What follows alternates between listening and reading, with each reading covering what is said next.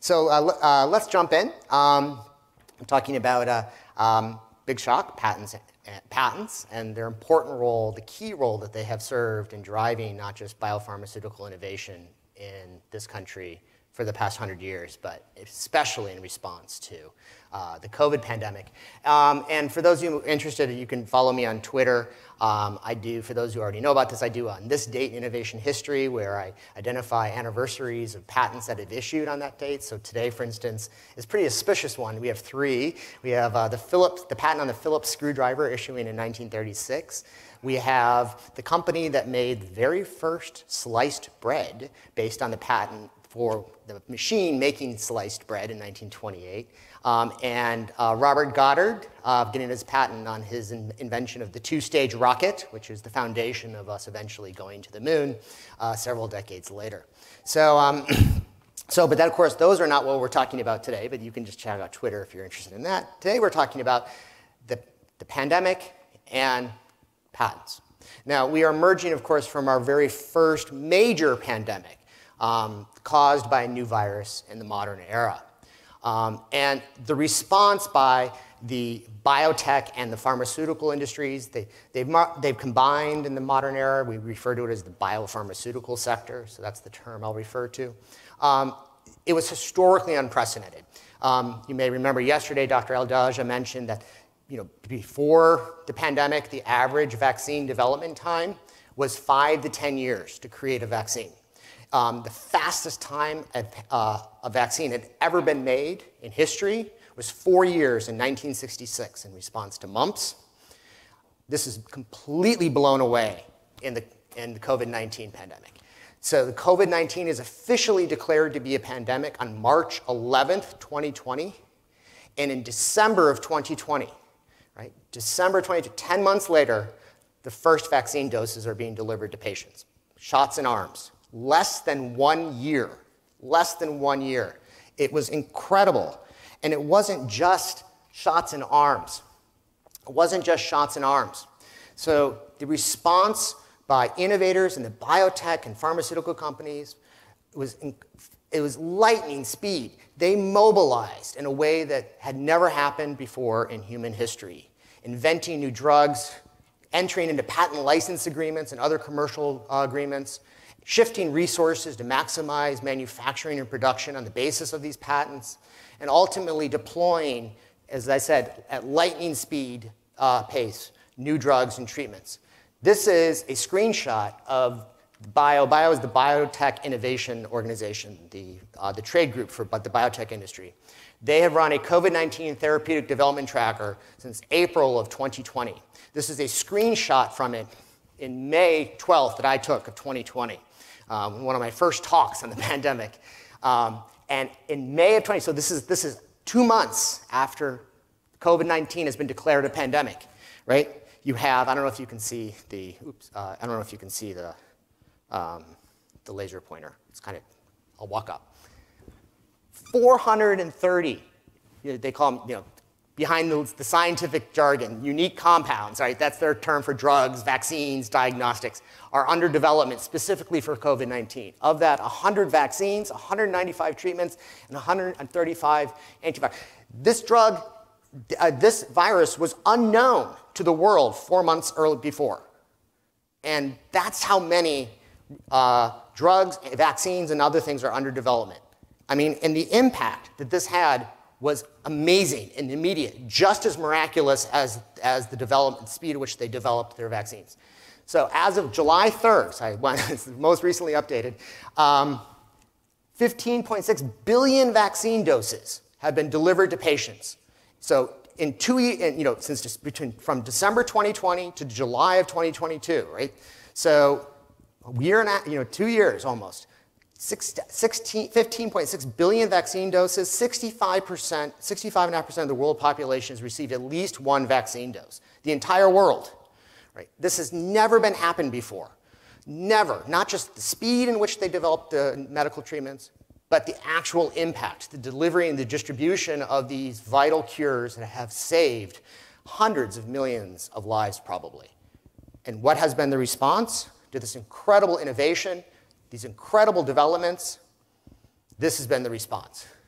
Um, these, if, if you walked around DC, you may have seen these. These have been billboards that popped up starting in 2021, over a year ago, around Washington, D.C. I took the photo for this one at a, at a, at a bus stop, um, but they've been in London and other places. Patents kill. Patents kill. Vaccinate our world.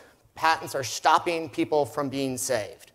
And, in, and on the basis of this, there has been a real world impact as well. So, immediately from the get go, commentators and politicians were calling for the elimination of intellectual property rights, especially patents, on the development of these drugs and the development of these vaccines. One vaccine's fast, suspend intellectual property rights. US supports vaccine patent waiver proposal, World Trade Organization, and on June 16th, 2022, so just last month, my birthday, unfortunately, not a good birthday present, but the World Trade Organization adopts a waiver of all patents on, on COVID 19 vaccines under our international treaties. I mean, this is right out of Directive 10 289 in Atlas Shrugged. You innovators created incredible life saving drugs and medications, and what's your reward? We're taking away your property rights, your patents. In fact, you may remember there's a section directly on patents in Directive 10-289.3, the nationalization of all intellectual property rights. remember, Hank Rearden gets his little certificate with the Statue of Liberty on it. so maybe that's what the WTO will give pat the, the patent owners and the biopharmaceutical companies. All right. So, how to explain what's going on here? All right. So, I have two points in this talk today. Two points. First is how did this heroic and unprecedented achievement occur? And even more importantly, why did it occur? Why did it occur? And of course, the basic point, which I hope to explain today and convey to you, is that innovators were free to research and create new medical treatments, produce new drugs and vaccines, and then commercially distribute them to billions of people. And they were able to do that because they had been legally secured in these important healthcare values that they had created through patents. And of course, the response to this has been vilification and condemnation. And not just from your traditional leftists. Libertarians have done so as well. Since we're in Washington, D.C., they would say it has been bipartisan condemnation. so um, so it, it's from all sides that they have been attacked and vilified. And those attacking the patents, by the way, are not mistaken about the facts that I'm going to talk about today. But there are many misunderstandings about patents and the role of patents in launching the response to the COVID 19 pandemic by the biopharmaceutical sector. So, the purpose of my talk is to detail these facts? To turn the phrase from the Declaration of Independence that we heard from this past Monday, right? let the facts be submitted to a candid world. Right? And the point of this is to then arm you with these facts because you already have the moral principles to understand what, that, what the scientists and drug innovators are doing is good. And to combine your moral principles with these facts so that you can better defend them in conversations with people who are mistaken about these issues, because there's a lot of misunderstandings. So the two points we're covering is just talking about how patents facilitated the response by the biopharmaceutical sector to the COVID 19 pandemic and to understand the response, the, how and why they were attacked. I'm going to spend most of my time, of course, on the first point because that's the most important.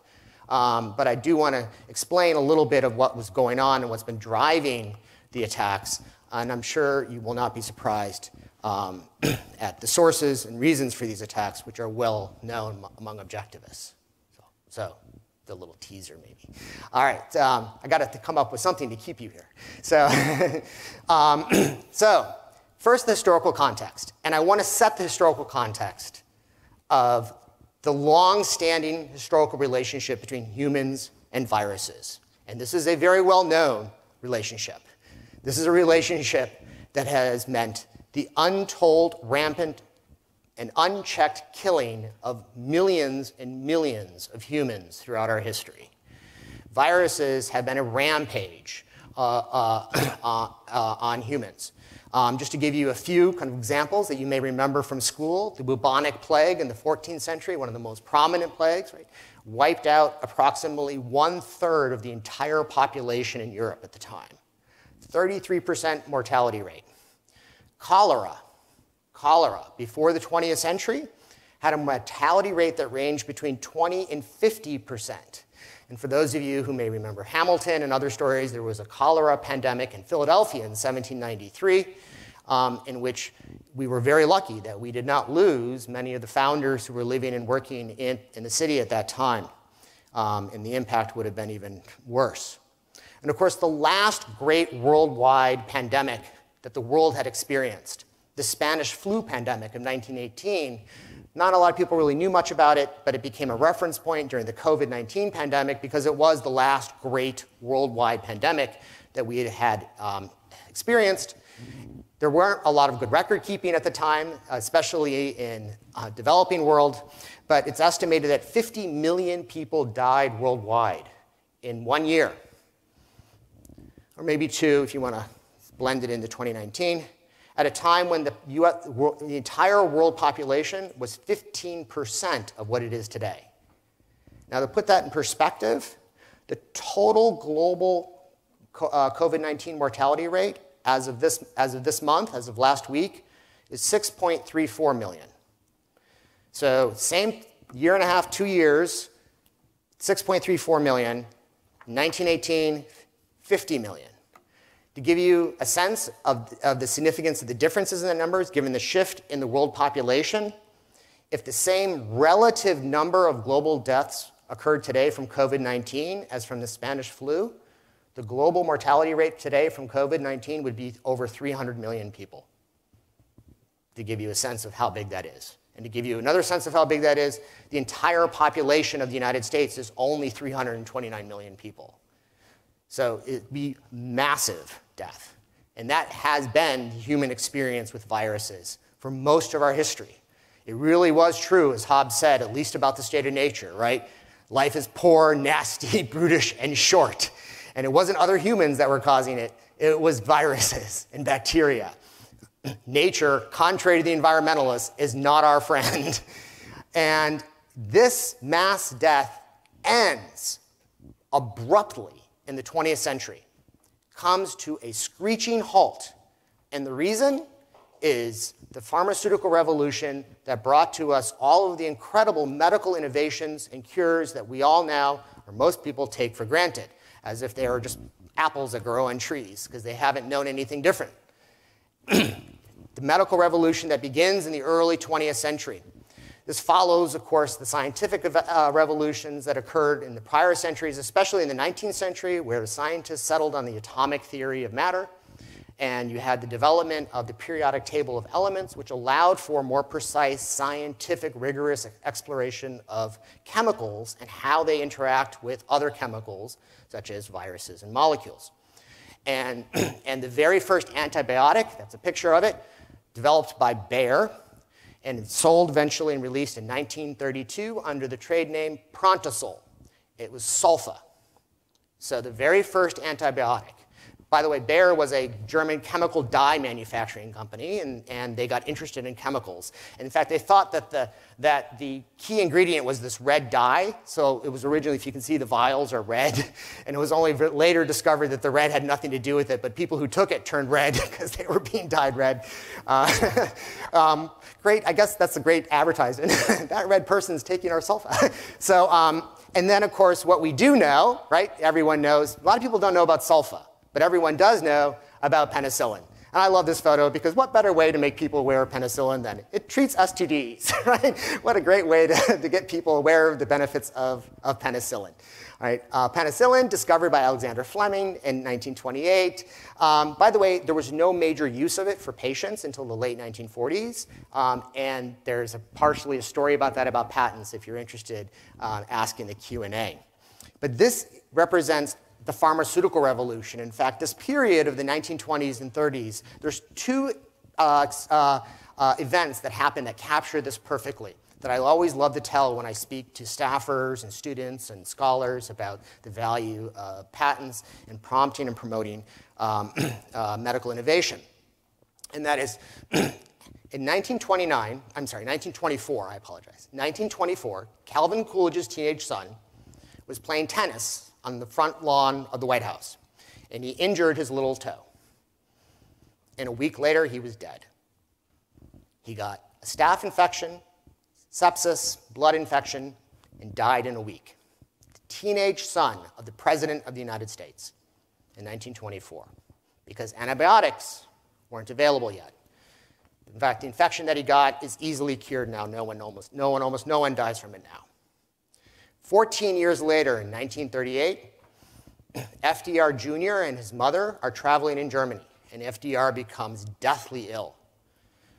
And his mother consents to treating him with this new drug that Bayer's making, Prontosil, and he's saved.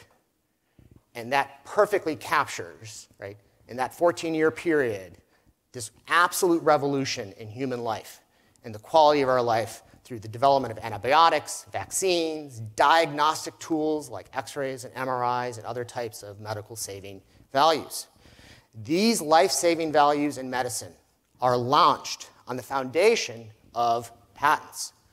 Patents are property rights that made it possible for these companies and scientists at Bayer and Merck and other companies to spend the years in intensive labor to come up with their invention and to reap the fruits of their inventive labors in the same way that the farmer has a property right in the fruits of his or her productive labors. They spend a year planting the seeds, husbanding the crops, tilling the soil, fertilizing it, and then, and then harvesting it and selling it a year later. And the property rights in the, in the crops is what makes it possible for them to do that. The same is true of in the biomedical area and any, in any innovative area. And patents are the property rights that make it possible for innovators to do this. But they're not just about incentivizing people to make these investments. This is often what a lot of people think about patents, but that's not their sole function because they're property rights. You can go into the market with them. You can trade with other people. They're called licenses, where you authorize another person to use your property, your patent. It's called a license in the law. You can create complex supply chains that achieve efficiencies where one person manufactures and another person distributes and another person does the retail and the doctor is the person eventually who does it. They're all different people who are commercially transact with each other through contracts, contracts on the basis of these property rights, patents. so patents don't just incentivize the innovation in the first place, it facilitates the licensing and commercial development and arrangements that make possible the deployment of these life-saving values for patients and many other people. Now, if you want kind of the broader explanation of this and the justification, see my prior OCON talks, because this talk is not about that. I've talked about this at length. You can also read my articles that I've written on this. now, this revolution in, in the pharmaceutical industry, as it, it was known then, and by the way, this patent you can see, so issued in 1948. It's for the method of the production of penicillin invented by Andrew Moyer. By the way, this is the patent that makes it possible for penicillin to become a usable, inexpensive drug that's delivered to patients. Not Fleming's discovery. This patent is the basis by which penicillin becomes a drug that is taken by everyone in the marketplace. Um, and I'll, as I said, I can talk about that more length, but I want to get to what happened today. Now, this is, again, very important. This is the backdrop for understanding how they were able to respond to COVID so quickly. Because the United States didn't just secure innovations in these discoveries of new um, antibiotics like penicillin and sulfa. They extended it to the, the, to the biotech revolution. Now, this occurred in the late 20th century. Biotech is the application of, of computer technology to medical innovation. So instead of going out into the jungles and scooping up a bunch of goo to see if it has a molecule there that will kill a particular virus or bacteria, they design it in the lab using computers from the protein up. They use computers and other types of, of computer technology to genetically engineer drugs, vaccines, and other types of developments. The United States was the first country in the world to say these are patentable innovations and this was a decision by the US Supreme Court in 1980 called Diamond v. Chakrabarty. Chakrabarty was, is a very famous biologist. I was honored to have met him a few years ago before, uh, before he recently passed away. Chakrabarty had genetically engineered a bacteria to eat oil. Unfortunately, it didn't work at the end of the day, but it was a new innovation, and he applied for a patent at the US Patent Office, and the US Patent Office said, that's a living thing, you can't get an invent, you can't get a patent on it. That's like Frankenstein. We're not going to allow this. This takes us down a horrible road. We're not going to do that. Patents are for, are for cars and oil derricks and you know, machines. And he pursued his appeal all the way to the US Supreme Court, and the US Supreme Court in 1980 says that is a patentable invention. That is a human create, newly human created value. Uh, they quoted from the uh, congressperson who was justifying uh, the, a revision of the patent statutes in 1952 that patents protect, quote, anything under the sun that is made by man, end quote. And that's entirely true, right? They, patents are supposed to protect any invention, any discovery of something that can be used as a value. That is the purpose and function of the patent system.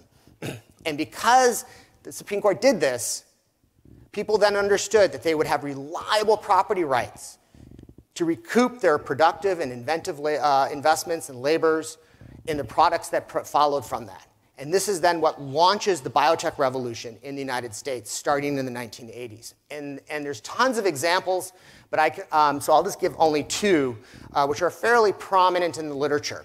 So the first is the Harvard Onco mouse. I don't know if anyone has ever heard of this. Onco short for on oncology. So this was a mouse in the 1980s that was genetically engineered to get cancer. Now they weren't doing this because it was a horror movie or you know, some, you know, like, or they were trying to torment mice and torture mice. You know, scientists, they're so brutal. Look at their poor mice. no, this is if you're researching cancer, how valuable is it that you are guaranteed that your animal test subjects will always get cancer every single time? Every one of them will have cancer. Imagine the efficiencies and productivity of coming up with new cancer treatments and chemotherapy and other types of, of therapy, uh, drugs and therapeutic treatments. and so they applied for a patent on it. And the US Patent Office said, following, following the Supreme Court's decision in 1980, said, patentable. Of course, it's a human made creation, it's a genetically engineered mice. You don't find mice in the world that naturally get cancer uh, automatically every single time. The rest of the world refused. France, England, Germany, um, Canada all said no. This, is, this takes us down the route of Frankenstein. This is not right. This is improper. This is patenting life. This is patenting things. We are doing things that they shouldn't be doing. And it wasn't until the late 1990s that most of the other countries in the West had finally conceded begrudgingly to patenting biotech innovations like this. Of course, and that in, in, uh, during that same time period, Innovators knew in the United States you had reliable and effective patent protections for any genetic engineering that, uh, uh, products, any products from genetic engineering that you wanted to create to benefit humans and to pursue research. and so investment capital flowed to the United States. And, and the United States became literally the birthplace of the biotech revolution. And this is exemplified by Genentech. Genentech today is a multi billion dollar company. I think its market cap, when I last checked, was about $24 billion. Genentech was the very first successful biotech startup.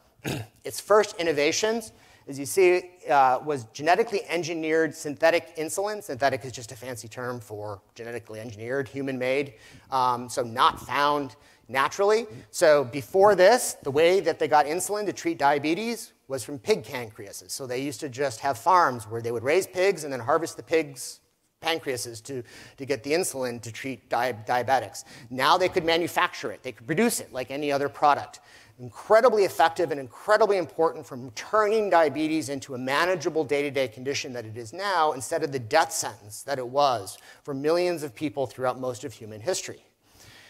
and responsible for dropping the price and the cost of, of, of insulin. And then, and then, also their other big innovation was the synthetic, uh, synthetic growth hormone for children. So the result, as I mentioned, of these types of, of companies and innovations is the biotech revolution occurs in the United States, which is really interesting because if you may remember your history, right, the Industrial Revolution starts where? Not in the United States, it starts in England. But it shifts to the United States for many reasons. And one of them, as I've explained in prior talks at OCON, is because we provided more effective and reliable patent protection for the innovations that were being created during the Industrial Revolution. We see the same type of, uh, of development in the biopharmaceutical sector. Remember, I said the pharmaceutical revolution starts in Germany with German chemical companies that are creating dyes like Bayer and Merck, right? Bayer, the creator of Prontosil, and you also may know Bayer because of aspirin. They, invent, they invented aspirin or discovered it. Um, so, but by the mid to late 20th century, it's all occurring now not in Germany, but in the United States. Two thirds today, two thirds of all new drugs and medical treatments are invented by US companies. Two thirds. 13 of the top 20 most innovative biopharmaceutical companies are US companies. This is a revolution being driven by the United States, and the real world impact on human life is undoubted. We are no longer, as a result of this, ravaged and killed in the tens of millions by viruses, especially new ones. So, you heard yesterday Dr. Adalja talk about um, the, the MERS uh, virus that emerged in 2012, the Middle East respiratory syndrome virus, and SARS, the severe acute respiratory syndrome virus that emerged in 2003. Both of those people were concerned were going to become pandemics, and they had a lot of reason to be concerned. MERS had a mortality rate of 35%. uh, SARS had a mortality rate of 14%, still very high, very significant. Modern medicine prevented both of those from becoming pandemics. But even when viruses become pandemics today, as we have witnessed with COVID 19, they have a substantially less impact. Remember, I told you MERS had a mortality rate of 35% and SARS had a mortality rate of 14%? The estimated global mortality rate for COVID 19 is 3.4%. And that is a long tailed distribution, which means it's not a perfect bell curve. It impacts a very small, uh, particularly a very small segment of the population. And what is that segment of the population? The elderly, people with compromised immune systems, and people who have comorbidities. If you have these three conditions, your mortality rate can be 30% or higher. But if you're younger than 50, you are healthy, and you have no comorbidities, you have a very, very low mortality rate. The CDC mortality rate in the United States for COVID 19, if you are aged between the age, if you are anywhere between the age of 1 and 25 and you get COVID 19, the mortality rate is 0.01%. This is all a result of drug innovators right, being secured in the discoveries and inventions that they have come up with that have created the modern healthcare industry and modern healthcare treatments for humans, not just in the United States, but worldwide. and this is the foundation. This is what was in place. This is the technological and commercial context when COVID 19 emerges from China in late December 2019 and early January of 2020. At that point in time, you had had hundreds of billions of dollars that had been invested over decades. In fact, I would go so far as to say trillions of dollars that had been invested over many decades in creating not just new drugs and new treatments, but a commercial infrastructure and a knowledge base that made it possible for the biopharmaceutical sector to leap into action and to respond to COVID 19 in a way that we had never seen before the amount of private investment in new drugs is astronomical. In 2018, just that one year, which is last year we have data for, private companies invested over $129 billion in the research and development of new drugs and therapeutic treatments. Now, I'm emphasizing this because what you often hear, especially with the COVID 19 vaccines, is well, the government paid for that right? This just came from government scientists or government monies. So this should just be, this should be free and people shouldn't be profiting from this. That is not true. It is not true that all drugs and other medical treatments are created solely by public funding from sources like the NIH or other government funding sources. I mean, you can ask me in the Q&A about this. I don't want to spend too much time on this, but I want to emphasize that is not true, either about new drugs generally or about the COVID-19 drugs in particular. of course, uh, as you heard yesterday, the cool, new, exciting development that we had uh, in the biopharmaceutical sector in response to COVID-19 is the mRNA vaccines, right? And thanks to Dr. Adalja, I don't have to spend too much time talking about mRNA as a technological platform. He described it really perfectly well, right? It's a basis by which you can do lots of things, right? And lots of cool new things. Um, he talked about Dr. Katalin Karikó, right? Just a pioneering genius and hero, right? Um, she's now involved with BioNTech, as you heard, um, one, of the, one of the companies that created, one of the, uh, along with Moderna, one of the two mRNA vaccines, right? Um, she was a pioneering genius, right? And, but the consensus in the 1990s and up through the early aughts was this can't be done. mRNA is too fragile, it's not permanent, it's not stable, it disintegrates in the cells eventually. And so you just can't use it to make vaccines or other, or other types of medical treatments. And so she couldn't get grants as a result of this. And you heard a little bit from Dr. Adalja. She was mistreated at the University of Pennsylvania. They moved her desk into the hallway. they wouldn't let her even become a full professor and things of this sort. Um, and so the, so the way in which this got driven was through private venture capital financing in startups like Moderna and BioNTech through private investments. We have patents on these technologies. We are going to develop new products uh, and treatments and invest in us, and you'll return, you get a return on your investment like you do in investing in other startups. Now, I will acknowledge there were some scientists at NIH who worked on aspects of the basic research. You heard about that last yesterday from Dr. Adalja.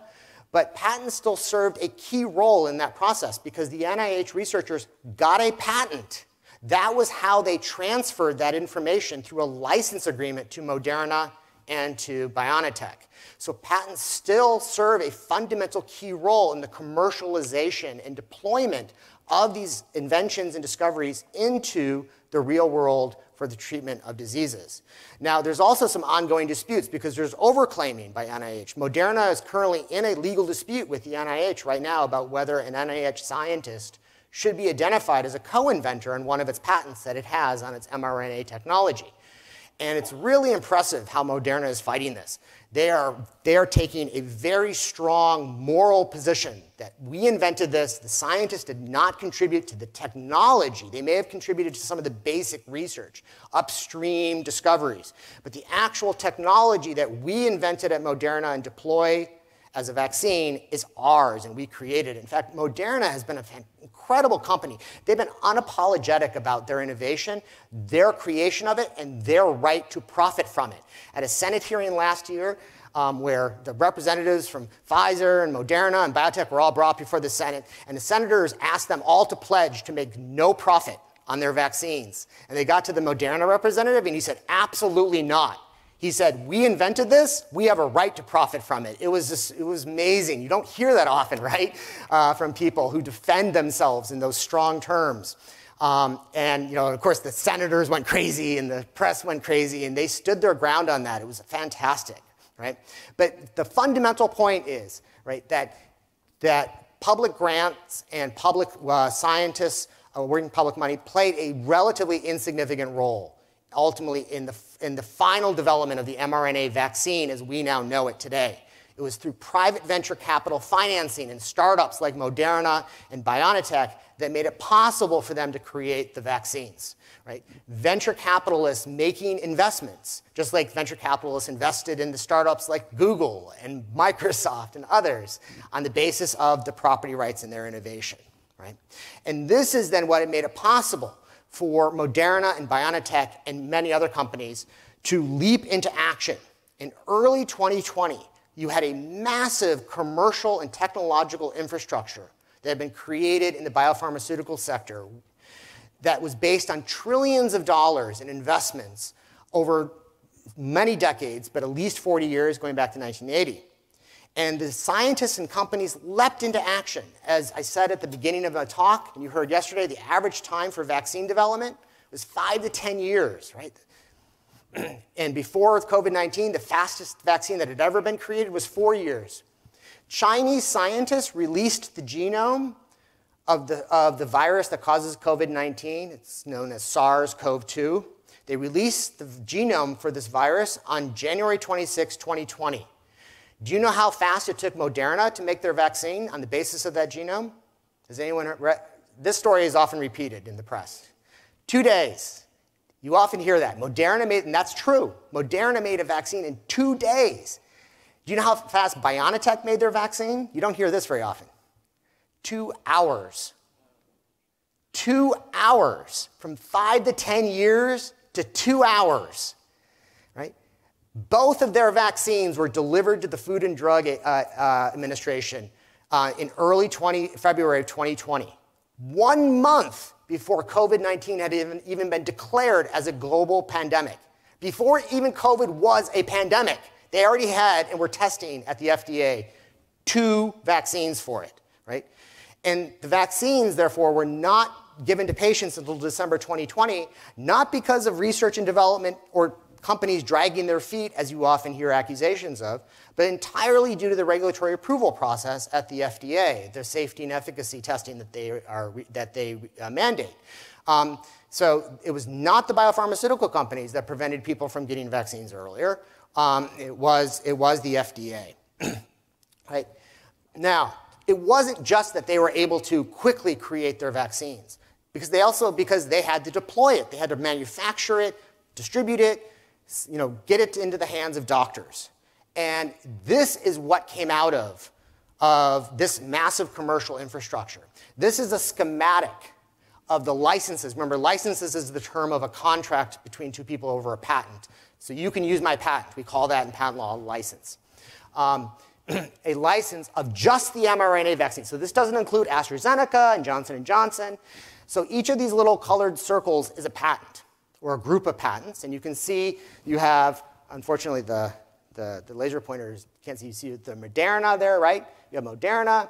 You have the NIH, that one patent up there that, that Dr. Adalja mentioned. Um, you have BioNTech, UPenn, because that's where Dr. Karikó worked. Um, okay, even Tesla uh, in the top corner.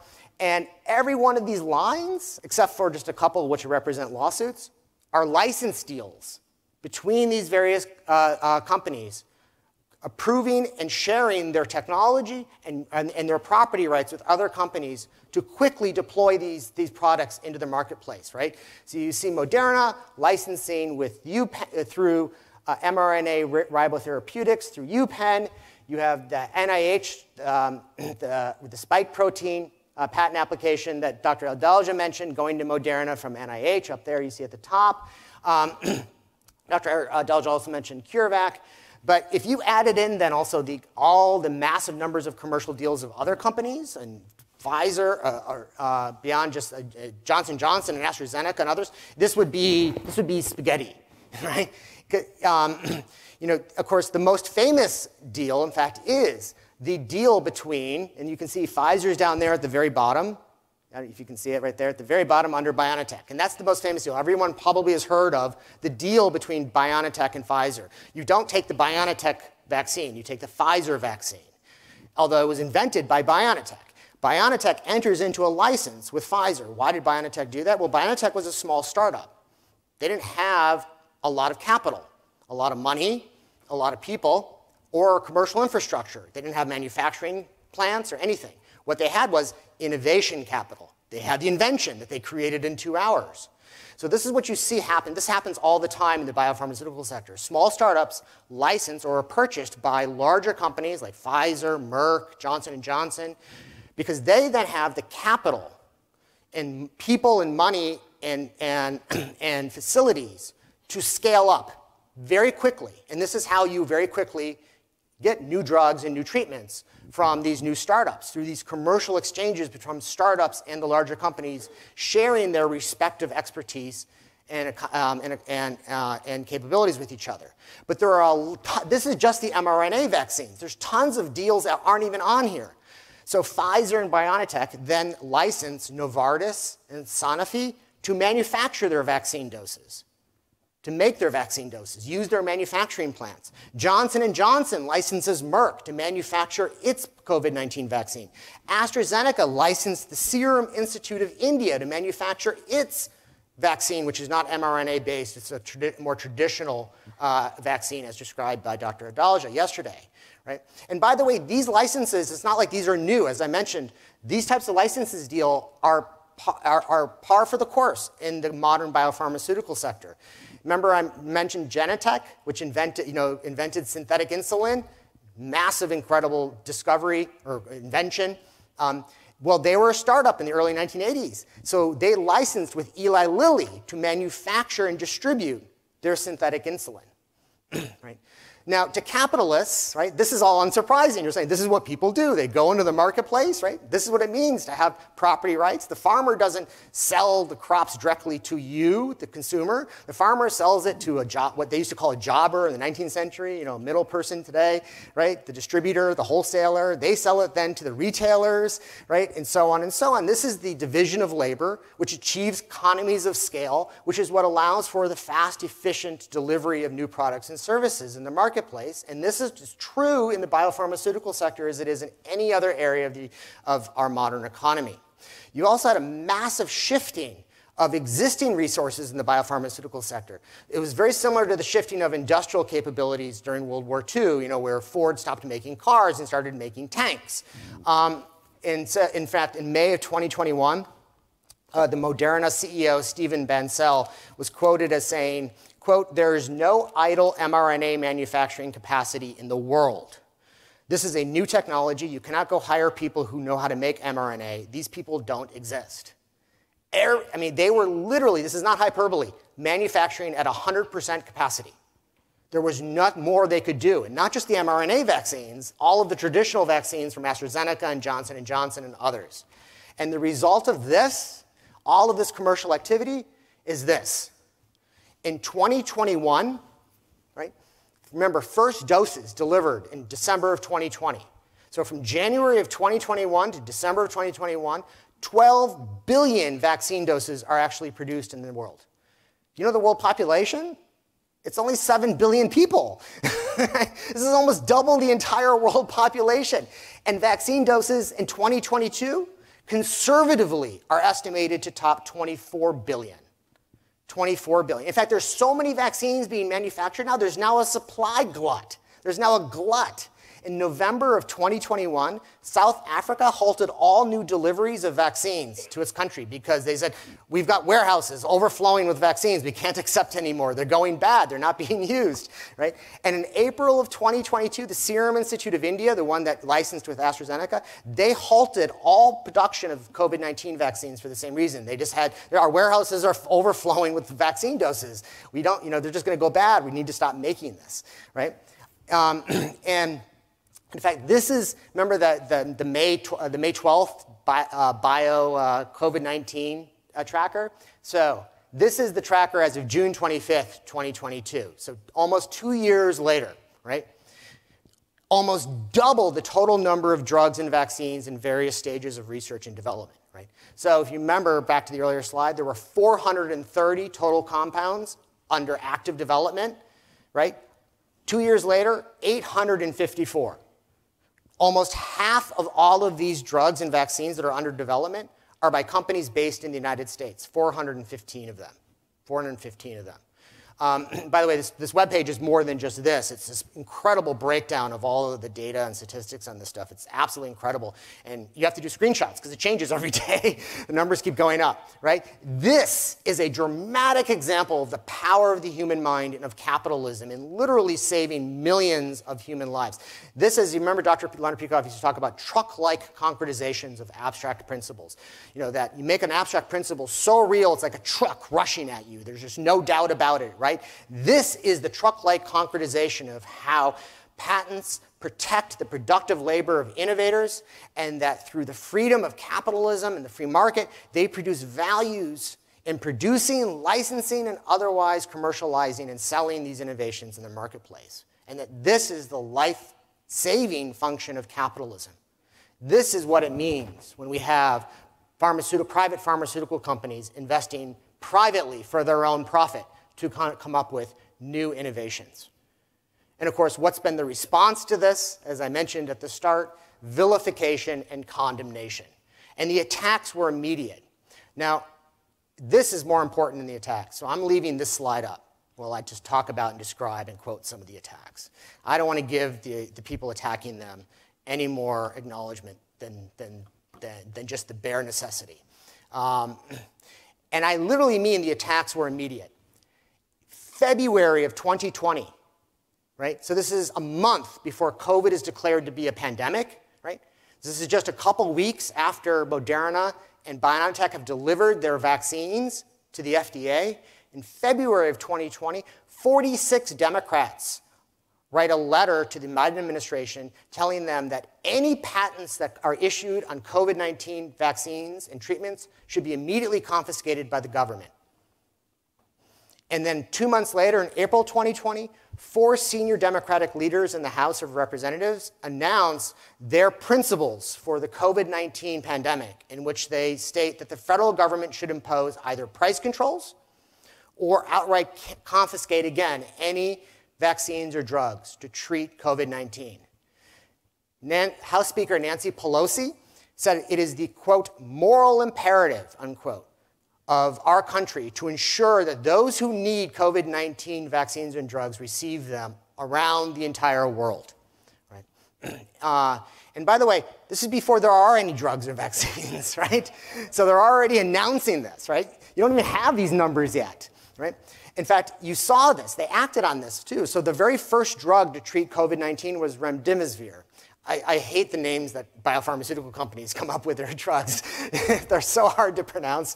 There was a great meme uh, where they said, here's a list of names. Guess, are these names of elves in Lord of the Rings or names of new drugs? uh, it was perfect. um, right? remdesivir, which is approved by the FDA for treatment of severe respiratory symptoms caused by COVID 19 infections. Immediate calls for the confiscation of remdesivir um, by the federal government. Um, uh, remdesivir was a, uh, was a drug, its patent was owned by Gilead. To give you context of this, Gilead, scientists at Gilead had labored for more than a decade. And ultimately, the company spent more than a billion dollars in R&D creating this drug. It was originally invented to treat Ebola, and it was a failure at that.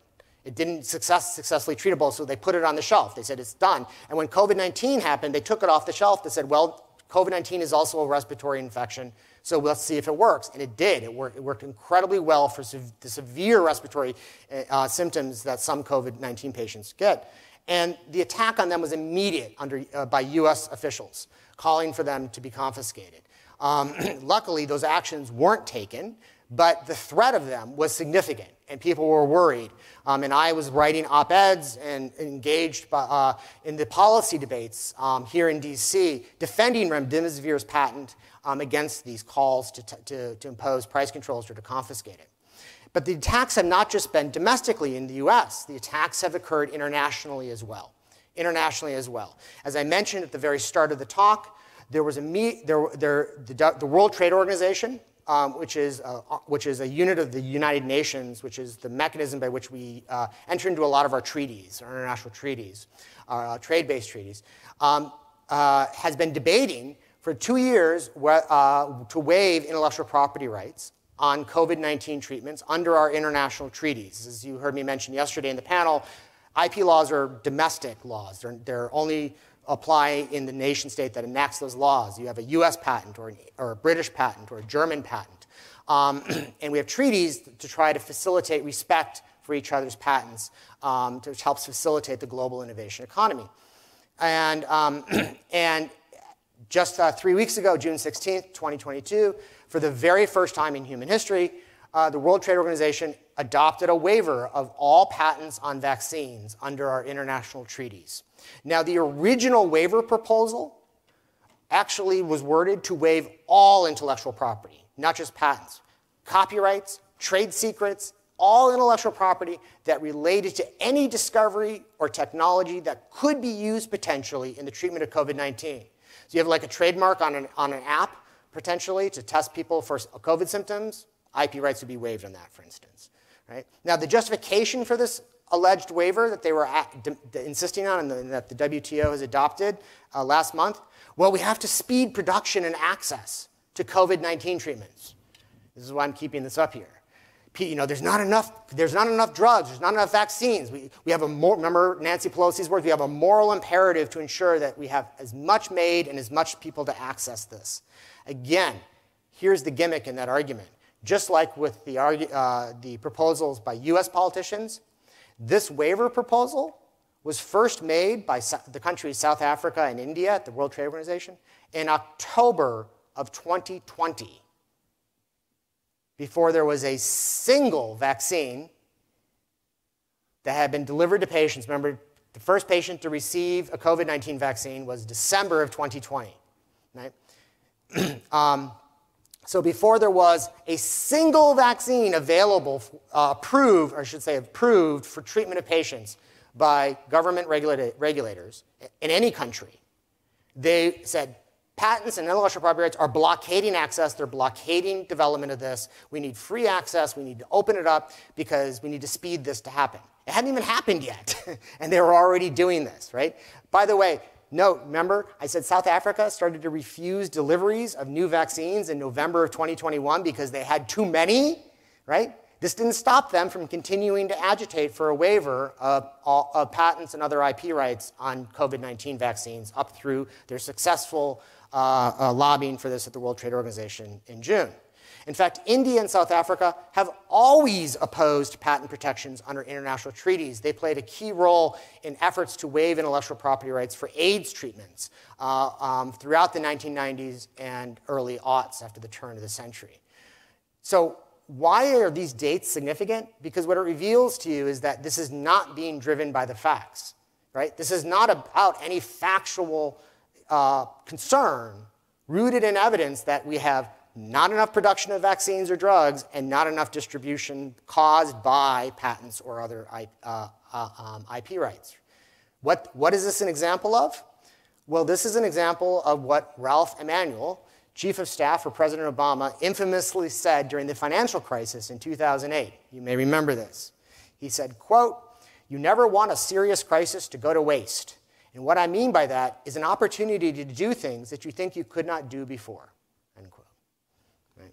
and that he was talking about TARP and all the other things that the government had, federal government had uh, enacted during the Great Recession that began in 2008.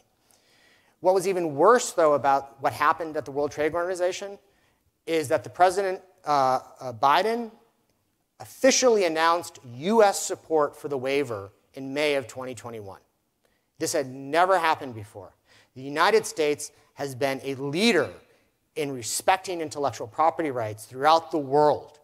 Many countries have actually modeled and copied their IP systems on ours, including now even China, as I mentioned yesterday on the panel. Um, and this was a significant signal to the world that the United States was no longer going to stand up the, for the rights of the innovators and creators who had made modern, uh, our, our, our, modern lives possible that we live, uh, that, that, that we live today. Um, the person who was uh, responsible for negotiating at the, US tra- at the World Trade Organization on behalf of the United States is, is uh, official known as the U.S. Trade Representative. And, and in the Biden administration, her name is Katherine Tai, and she gave a speech at that time where she said, and remember Rahm Emanuel's quote, right? She said, quote, extraordinary crises challenge all of us. And then she went on, quote, there is still a gaping divide between developed and developing countries when it comes to access to medicines, end quote. And she said, quote, we saw this during the HIV AIDS epidemic, where various policies and actions constrained access to medicines, contributing to unnecessary deaths and suffering. We must learn from and not repeat the tragedies and mistakes of the past. End quote. Now, that is all 100% factually false across the board. There is no delay in manufacture, production, or distribution of vaccines or other drugs caused by patents or other intellectual property rights. And notice, by the way, she just accused the biopharmaceutical industry of causing unnecessary deaths and suffering in the AIDS epidemic, the very industry that has people live today because we have treatments for AIDS that, that didn't exist when AIDS first came about. What is really driving this is not any alleged need to speed access to drugs and vaccines. What is driving this is exactly the words that Nancy Pelosi used a moral imperative. And what is that moral imperative? What is the moral principle represented by that imperative? Remember what Katherine Tai said There is a divide between developed countries like the United States and Europe and Japan and, uh, and other advanced economies, and developing countries, which is now the new term for what we used to refer to as the third world. Right? In other words, there are people who need drugs, and we have a moral obligation to give it to them because we have them. We are successful. This is the moral principle of altruism and its implementation in political action, from each according to his ability to each according to his need. We've created the vaccines and drugs, and now not only should you not profit on it, as, as all the company representatives were asked not to do, but you have a moral imperative to give up your property rights, to give up your IP rights, to ensure that other people have easy, fast access to these life saving medications that you have created. this is the significance of the COVID 19 pandemic beyond just being a pandemic is that it gives us dramatic concretization of two opposite philosophical approaches to human life. Right? On the positive side, you have the power of the rational human mind, the life enhancing values that are made possible by free people secured in the rights to life, liberty, and property. And, and among those property rights, intellectual property rights, their patents. The result of that philosophy right, is unprecedented achievements in science and industry that were literally inconceivable, and I'm not being hyperbolic there, literally inconceivable 100 years ago, and still considered impossible just 20 years ago. The creation of a vaccine in two hours. 26 billion doses of that vaccine that was of that vaccine manufactured worldwide in two years right? More than four times the entire world population, right?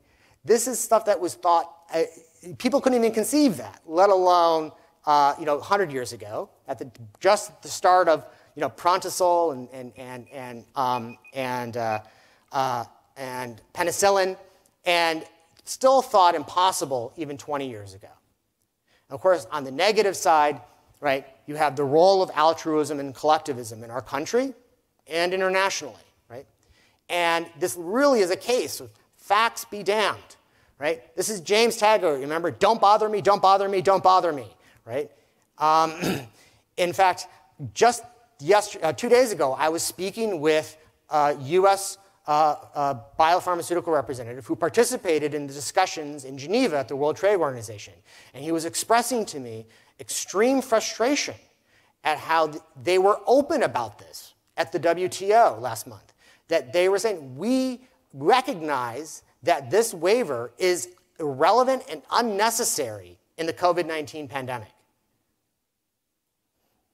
And that why are, we, why are they pushing for it? Because they know there's going to be another emergency, another pandemic. And they wanted to set the precedent for not having to wait two years and to create the precedent in under our international treaties that we can do this, we will take from the innovators and creators, and that we will do this with the sanction of the United States for the very first time in history. Innovators are explicitly being punished for being good, for producing, for achieving, and saving lives. And their reward for this from our politicians, our government, and from international organizations is their life work is stolen from them, and they are condemned as murderers by politicians. Right? Now, I don't want to emphasize that anymore because the positive concretization of what freedom and patents can achieve is so much more important, right? It's so much more important.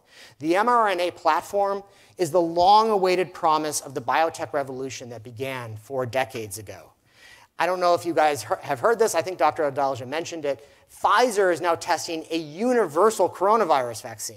By the way, as he, as he may have mentioned, and I like to emphasize this, the common cold is a coronavirus, right? And we all know the classic phrase, there is no cure for the common cold. That phrase is about to become, you know, obsolete, extinct. Um, uh, and they're not just testing a, uh, uh, a vaccine for coronavirus, uh, universal coronavirus. They have now begun trials for an mRNA based AIDS vaccine and an mRNA based malaria vaccine. I mean, think about what those will do for us uh, and do for humanity in the, way, in the same way that we have wiped out cholera and smallpox and the bubonic plague and other types of diseases. As with earlier revolutions in medical care, the, anti- the, antibiotics revolution in the very early 20th century with sulfa and penicillin, and then the diagnostics and new drugs and genetically engineered treatments that came with the biotech revolution in the late 20th century, we are on the brink of a massive revolution in biotech that will massively increase the quality and quantity of human life. And that is the truck like concretization of what Ayn Rand meant in that profoundly deep and significant sentence that she uses to start her essay, Patents and Copyrights in Capitalism, the Unknown Ideal. I love this sentence. Quote, patents and copyrights are the legal implementation of the base of all property rights, a man's right to the product of his mind, course, she would, that's her opening sentence. uh, you know, and for, for the rest of us, that's pages and pages of having to think this through, right? And that's the point, though. Rand gave us the intellectual tools to understand the significance and meaning of what we just witnessed in the biopharmaceutical sector of the past two years, and the moral principles to appreciate and value what that means in our lives today. Thank you.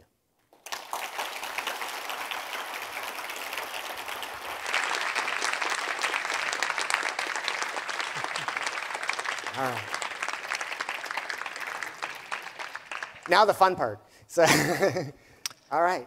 Amazing talk. Thank you very much.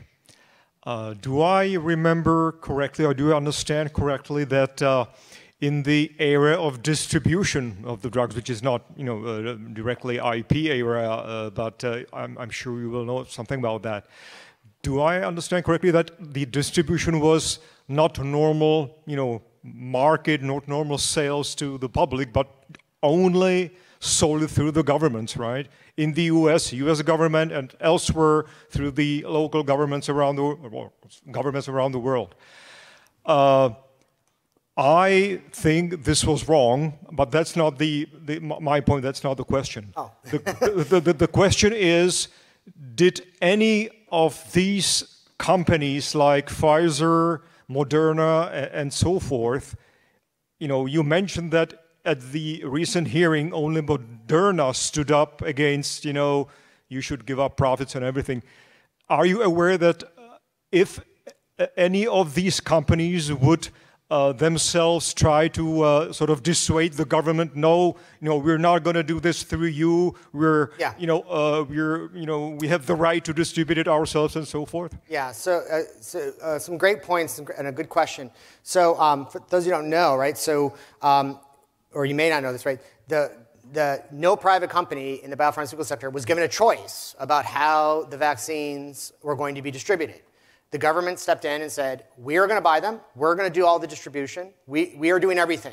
You don't have, so they weren't allowed to go into the market. So Pfizer and BioNTech, they weren't allowed to say, hey, do you want to buy a vaccine from us? That was, they were legally prohibited from doing that. The, the federal government and every government in the world took over um, the, uh, the, the, the purchase, the advanced purchase, and, and continuing purchases and distribution of this, which led to a lot of delays. You may remember in early 2021, there were tons of articles about you know, vaccine, you know, delays in the distribution of vaccines because they were following these kind of set regulatory requirements of who could get them and in what categories, and there were vaccines sitting unused in various places and hospitals and things of the sort. Um, and, and, by the way, this is people then point to say, well, look, the government's bought all these vaccines, so we paid for this, so you shouldn't get any money from this, right? The biopharmaceutical companies weren't given any choice in this matter. Um, now, they don't really have the, they, you know, they can say to the companies, I don't know if they did say to the governments, you know, hey, we would like to try to do this privately. Um, but, um, but I don't know if they did do that. I do know that, that they, there was a lot of pushback from the biopharmaceutical companies, especially when the, the World Trade Organization negotiations were becoming serious. You know, it went beyond just like this is a crazy proposal to this is a proposal that they're really going to pretend, adopt, especially when the United States announced it. And the Pfizer CEO issued an open letter shortly after uh, the Biden administration announced its support for the waiver in May of 2021, where he, he went through look, the, the causes of why there, you don't have uh, mass distribution of vaccines in the developing world has nothing to do with patents. It's, it's a whole array of regulatory and legal barriers. So the Trump administration and the Biden administration both invoked the Defense Production Act, which legally prohibited the export of any materials necessary for the treatment of COVID. So, like PPE, legally, you can't export it. And this was really significant because the United States advanced purchased uh, about, I think, 10 million doses of the AstraZeneca vaccine, but then the FDA didn't approve it. They found that it didn't have effic uh, sufficient efficacy levels to be used by patients in the United States, but it was approved for use in 70 other countries. But because of the invocation of this law by both Trump and the Biden administration, these vaccines sat unused in the United States. They were not distributed. Um, and other countries did the exact same thing. It, it went under the name vaccine nationalism. I don't like that term, but this became a concern that people were talking about. Notice, not about patents, right? It's about regulatory and legal barriers. Also, um, in, in the Pfizer CEO also mentioned, this is very revealing. He said, I personally called leaders in, de, in uh, of developing countries and said, we will ship to you for free, right? The vaccine, right? You know, we're not going to charge, you know, twenty dollars a dose, which is what, uh, uh, which is what the U.S. paid, uh, you know, to you know, you know, the citizens of Rwanda. You know, we'll just ship to you the vaccine. Um, and I don't know about, he didn't name the country, so I'm just using it as an example. And he said, I was repeatedly told by many government leaders, this is a new technology, this is something we untested, we don't know anything about it, we don't want it.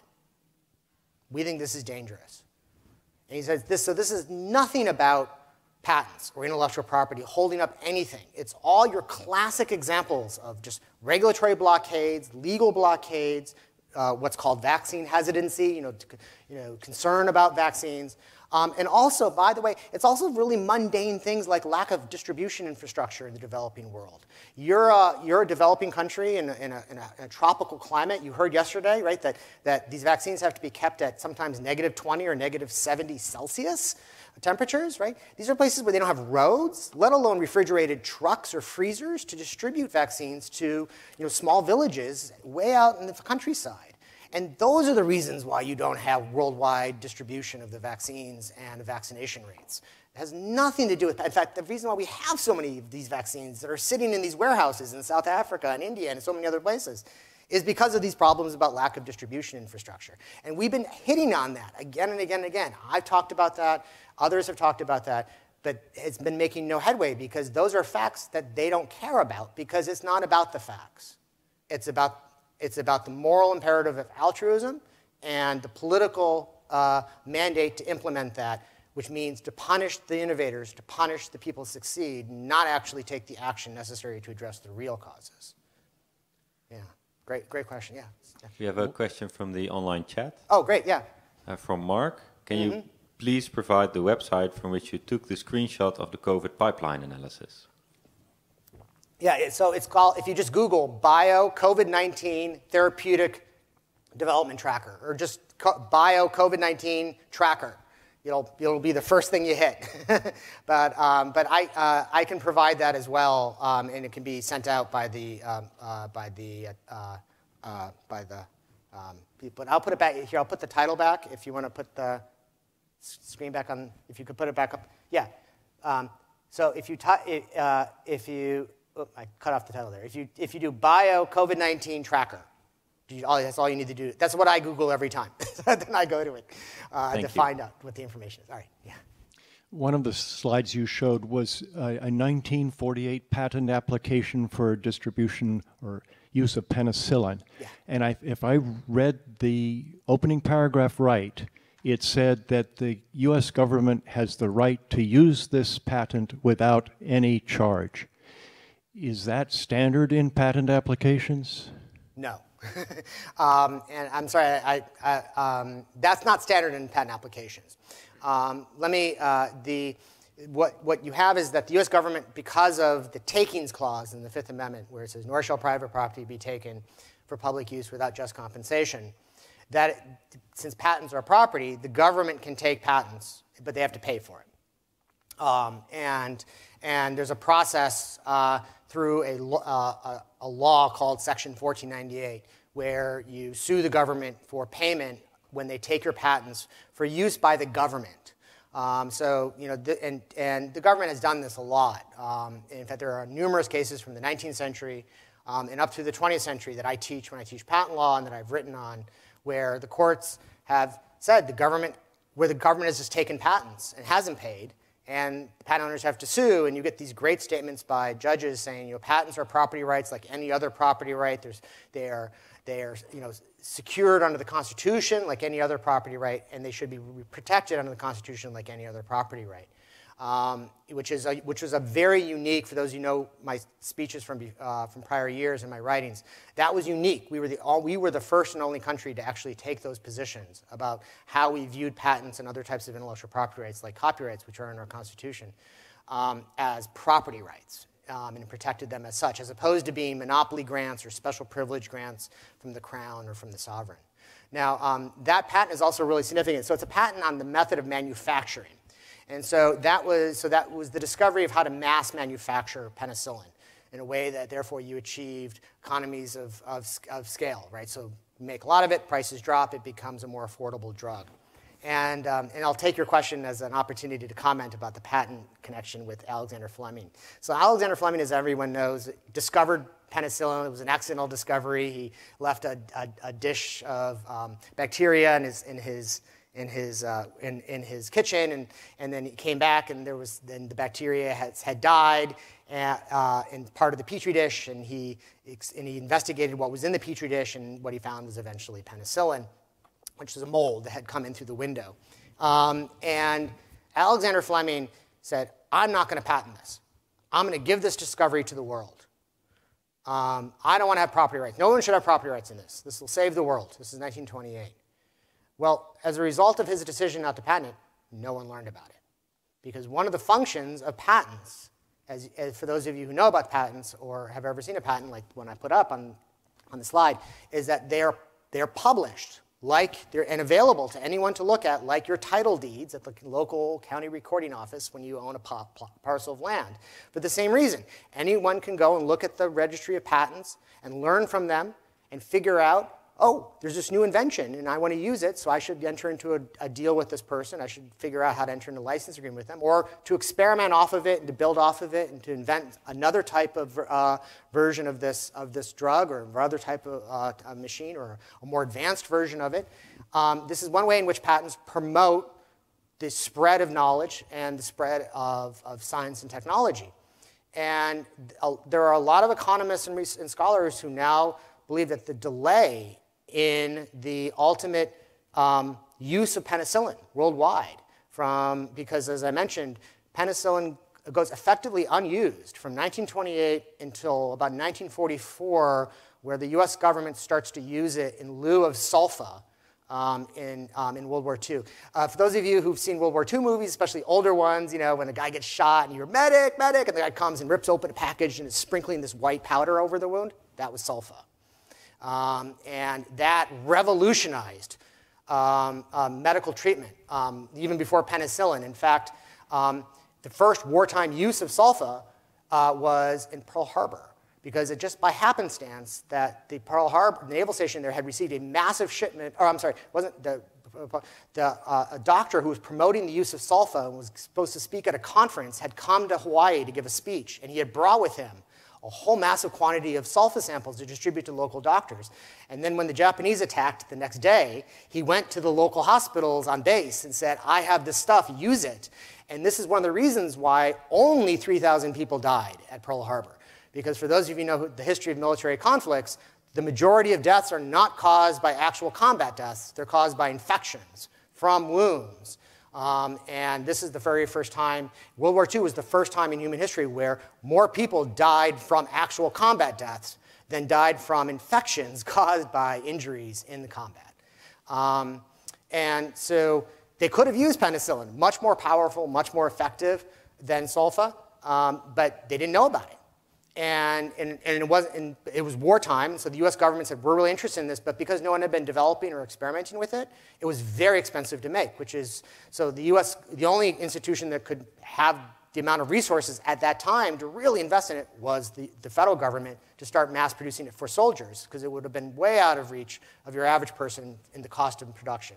And it's that patent by Moyer, uh, which is what make, is really responsible for penicillin becoming the penicillin we now know. It's not Alexander Fleming's discovery of penicillin. It's Alexander Moyer who's really responsible for us now thinking of penicillin as the foundational antibiotic that, that we all know it to be. So, thanks. Yeah. Hi. So there are quite a bit, quite a number of more free market leaning scholars and thinkers, notably Matt Ridley, for example, who actually argue against patents on the basis that, and they doc document series of events or examples where patents seemingly delay the spread of innovation or of production, right? So do you think that in all of those cases they're just simply wrong and there is something wrong with their analysis? Or maybe it's the case that in terms of how patents are protected by what institutions in what political respects, like this is all intertwined with politics that maybe historically or even currently there are issues with how, not uh, in terms of the processes, not in terms of that patents as such may, yeah. be, may be the reason. Yeah, it's a great question. By the way, I did a book event with, with uh, Matt Ridley at the Hudson Institute. I, I, am chair of the Forum for Intellectual Property there. Uh, it's the Hudson Institute is just a uh, think tank here in DC. Um, you can Google it because it was done uh, online um, you know, Adam Mossoff and Matt Ridley, Hudson, Hudson Institute, um, and I push him on, back on some of this. Um, and I spend a lot of time debating libertarians um, and, and, many others uh, who think that patents are monopoly uh, grants from the government that impede innovation. Um, a lot of the claims that they make, historical and otherwise, are actually not true. They're based in conventional wisdom. That's a myth. Um, I debated a libertarian at the start of the pandemic on whether patents are, would be benefit for the, you know, the response to the pandemic. And he, he brought up the, you know, the Wright brothers allegedly held up airplane innovation, and, and, and there's an historian who looked at that and said that's not true. Claims about how um, uh, the, uh, James Watt allegedly held up innovation in the steam engine. Follow-on historical and legal research has proven that's not true. You have all these little kind of historical chestnuts that people point to that ended up not being true. And it ends up really being that they're deducing from, uh, from a theoretical conception in economics of what property rights do. Um, so a lot of libertarians and economists start from the premise that property is the solution to scarcity. And, and because when you have scarce resources, there's fights over how to use those scarce resources. So you need a way for someone to say, no, I have a right to exclude you as a basis for, to, to, for people to transact and things of this sort. Um, that Ayn Rand's re, uh, response to that argument, and my response as well, is check your premises. It's not that there's scarce resources. It's that the basis of property is not scarcity, it's value creation. It's, the, it's because there are no, oil was not a scarce resource in 1800, right? It, when does it become a so-called, quote, scarce resource? When it becomes a value in human life. When, it when you have the invention of uh, uh, uh, combustion engines. You have the Industrial Revolution that needs oil and fuel and things of the sort. It's just so uh, it can, so it's a deduction from a theoretical conception of the role of, uh, of property rights um, in economics that they're primarily working from. That's that's not that doesn't actually reflect the actual source of property, which is what Ayn Rand's point is. It's the it's the values created by the rational human mind. It's value creation, which is the basis of property. And this is why you have property rights in airwaves and in credit and in all sorts of things where there's no physical scarcity. Um, because those things have been turned into, into values. And insofar as they're turned into values, they're property because of the person who turned it into a value. A value is what one creates and acts. It acts to create in a life, and serves a life. And that's what makes something property. And the property right is the protection of that value in society against other people. Um, so that's kind of a quick summary. I've given a bunch of talks on this. If you just Google my name, a bunch will come up. um, I also uh, wrote the chapter on intellectual property that just came out in the recent uh, Routledge Companion to Libertarianism, where I describe various arguments for and against intellectual property among those who are broadly called libertarians. Excuse me. Thanks. And, um, uh, and, I, and I identify you know, the natural rights arguments, the economic arguments, the natural rights arguments for intellectual property and against, and I'm just describing them. Uh, the economic arguments for and against, and Ayn Rand's argument um, for uh, intellectual property is kind of the key arguments. And, um, and, and, and, as I said, I just described them, and there's a big bibliography in there as well. So, but also check out the check out the um, uh, check out the uh, the, the um, the discussion I had with Matt Ridley. It, it, was really good because also Matt starts from a, a um, also a mistaken premise that a lot of people do start from, which is the point of intellectual property is to incentivize people to invent. We have to get people to invent. So we dangle this little carrot in front of them called a patent. And that's the sole role of patents. And if you remember back to my talk, is no, that, that's part of it, right? You, you tell a farmer they have property rights in, in the fruits of their labors, they're going to farm, they're going to be incentivized to farm. But you can incentivize people to invent with all sorts of things. You can have prizes, you can have public grants like what the NIH gives, you can tax subsidies, there's all things that people kind of come up with. But why patents? Because patents do something different that none of those other mechanisms do. Patents are property rights because it's not just about the invention, it's what you do with the property right. Your ability to go into the marketplace, use it as collateral, license with it, embrace the division of labor with other capitalists to achieve the efficient production and manufacture of this new innovation. Patents are the bridge that converts an invention in the lab or the garage into a real world product or service, an innovation sold in the marketplace. None of the other uh, prizes don't do that, and tax subsidies don't do none, none of the other systems do that, which is why patents are so successful and why the United States was so unique and why the United States was so successful and why patents were such a foundational pillar to the success of the United States with the Industrial Revolution. This is my talk last year at OCON and the prior year before that, where I identify all of the great industrialists and innovators in the 19th century who, who, were about, who worked on the basis of their patents. Yeah. Hi, thank you so much for your talk. Sure. Um, I work in a clinical testing laboratory where we awesome. use. Um, thank you. we do um, rapid RNA COVID testing, which is um, developed by Abbott Laboratories that was developed from their already existing uh, rapid flu testing. And I was just curious, um, even though it, the COVID testing was released under an emergency um, authorization, mm-hmm. um, I was wondering if, because it's the same shared technology, does this, even though it's re- released for emergency situations, does that still, um, is that still included in the original patent for basically the exact same product? Yeah, so the, um, so the patent isn't the same thing as what's approved by the regulatory officials at the FDA or in other agencies of the government. The patent just covers the invention, however it may be used. And, the, and so the extent that the patent is, is, a, is a patent on a diagnostic testing technology, it doesn't matter if that technology is used for the flu, it's used for COVID, it's used for anything else. And in fact, so this is this, one of the significant values of patents. They often discover, hey, this one invention really works well doing something else. But the patent isn't about what it treats, the patent is just on the initial discovery or invention, right? So you discover oil, and oil can be used originally for trains, and then automobiles are invented. It's not like you have to get a whole new property right in the oil for the use of the oil for cars now, now in addition to trains, right? So, um, and, it's, and, and it's the same with regular inventions. And there are some great uh, uh, uh, uh you know, uh, stories of of inventions being discovered, like, oh my God, this has a whole other use. Um, so, um, for instance, um, uh, um, so Prozac, uh, which is the drug to treat depression, uh, the doctors discovered that people taking Prozac also started not being having such desires to smoke.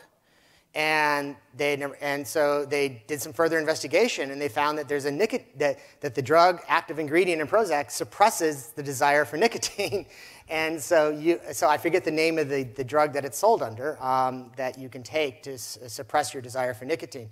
But that's, that's Prozac. um, and there's tons of other examples of that. And it's, and it's just a great example of how, you know, the, you know, you come up with a property right in a piece of land, right? And you can say, well, I might want to build a house on that, or maybe a factory, or maybe I'll build first a house, but then it'll become more valuable as a factory down the road, and that's your choice as a property owner. And that's the exact same principle that's protected for owners of patents. Um, and again, that was the United States approach because the original approach in England and many other countries was no, no, no, this is a grant from the crown to you personally for just this thing and only this thing. And if you want anything more, you got to go back to the crown to get permission. And by the way, it's a grant to you from the crown, so you can't give it to someone else, right? You know, when, the, you know, when King George gives you this, you know, you can't say, oh, I'm giving King George's gift to someone else. There's no regifting from the crown, yeah. So, um, and this is what drove the U.S. innovation economy in the Industrial Revolution and in the 20th century, too, yeah. Thank you. Yeah. Thank you for your talk. Uh, what do you think about the idea of patent, so-called patent trolls who acquire a patent and then go and try to sue creators of new inventions. Do you think that's a real problem? And if so, what can be done about it? Yeah, it's a great question. Every, you know, and it, it shows you the power of, of, um, of PR and, uh, campaigns by very large, well-funded companies who get sued a lot for deliberately infringing patents. That everyone knows this term, almost everyone knows this term, patent troll. Uh, uh, and, you know, they're aware of patent owners uh, in, ways that they're not aware of or knowledgeable about other types of technology owners or other IP right owners. Um, so it's a massive, uh, you know, PR issue uh, and part of the policy debates for about 15 years. Um, are there some people who abuse patent rights? Of course, because there's some, are there some people who misuse property rights in land, right? Is there you know, the classic old man who takes out the iron pipe and chases the kids down the street? Oh, get off my property, right? You know, does he have the right to do that? No, he doesn't have the right to threat, physically threaten someone, right? Just because he has property rights in land. Um, and because you know, this is the integration of rights of liberty and life with property. And so, are there a few people who potentially who have a you know, uh, uh, you know, engaged in bad behavior in some way, shape, or form with that? Yeah, a few. Yeah. But is it, is it a real problem? No. Um, and this was a creation, actually. I've been in, deeply involved in these debates for the past 10 years. Um, you know, the, and the problem with the patent troll term ultimately is that it's non-objective. When you push people, how do you define it? First, they'll say, like, well, it's someone who doesn't manufacture. And you'll say, well, Thomas Edison never manufactured. Is he a patent troll? Oh, no, no, no. Well, no, he wasn't a patent troll because he's a great Thomas Edison. So, oh, it's someone who buys a patent. Oh, uh, so Tesla bought patents. Was he a patent troll? No, no, no. Tesla's great, so we don't know. I don't want to condemn him.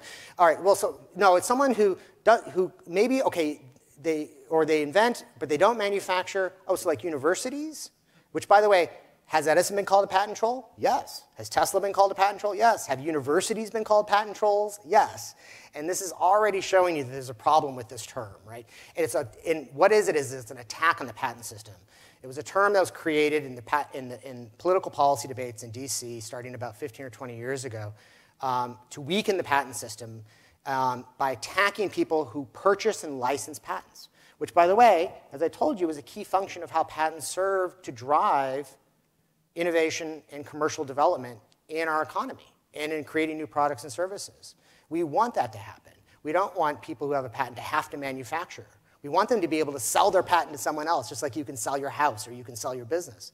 Or we want you to license to someone who knows something better than you. Like Charles Goodyear is a patent troll by definition. Charles Goodyear, the inventor of vulcanized rubber. He was a crazy inventor. He didn't want to manufacture. He just wanted to invent stuff with rubber. He wrote a two-volume book on all the uses of rubber. He just said, you can use it for ships and for shoes. And for, he just listed out all the uses, right? So he licensed his property right to other people to manufacture it because he wasn't good at manufacturing. He didn't want to manufacture. He wanted to be an inventor. And that's what we want. But that's what patent, the patent troll rhetoric condemns. And so you can see how it's a really sneaky term. It uses a few, you know, a couple bad examples of bad actors, but then universalizes this is a huge problem and we need to address this and we need to weaken patent rights as a result of it. And, um, and so be very skeptical of uses of it when you see it, is my, is my recommendation. Hello there. Okay, so you mentioned that in the beginning of the talk that on June 16th they made it so that you can't get a patent on a vaccine like COVID 19 so that people can get it sooner. But how does a patent stop vaccines in such a way that it affects people so much they need to ban them? And if it doesn't, why do people waste their time on it? Yeah, That is a great question, right? So, um, and, the, and, and it is, the argument is, well, if you have a patent, you can stop someone from using something because that's what the point of having property is, right? If you have a property right in a house, or let's say your bedroom, right? That means you can say, no, don't come out, right? You can put the keep out sign on your front door because you can keep someone from using your property without your permission. And this is, so they deduce from this, they will say, no, you can't use my property, saying no to all these people who want to manufacture or use the proper, uh, make vaccines, right? And they will do so for, because there's no real good answer for why, because the whole point is, of course, they're going to want people to manufacture vaccines. They make money doing that, right? So, um, but the argument is that having property, as you and I have talked about, right, means the ability to keep people away from something, keep out, right? It's yours. And so the idea is, well, there'll be grumpy companies that won't let other people use their uh, uh, vaccines or use their drugs, and, uh, and thereby limit the number of drugs and vaccines that could be made. But as you see, oops, not, it's gone. uh, the, the, slide is gone. But as you saw in my talk, right, that's just not true. It didn't happen because that's not really what happens with patents in the real world. Yeah. Thank you. Sure. Thank you, guys.